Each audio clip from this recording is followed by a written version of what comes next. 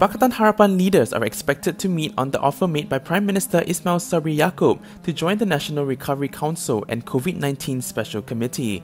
According to a source in the coalition, key leaders from PKR, DAP and Amanah will meet either today or within the next few days, following which any decision made will then be discussed with other opposition parties such as Pejuang, Muda and Warisan.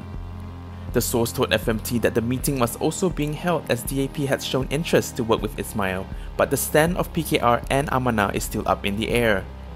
He said the PH leaders will discuss if the offer was beneficial because if the present government makes a blunder, we do not want to be dragged into the mud with them. PH leaders want to have a united front. We need to clearly state the reason for our decision, he said. The meeting will also discuss the possibility of opposition MPs having been offered ministerial posts.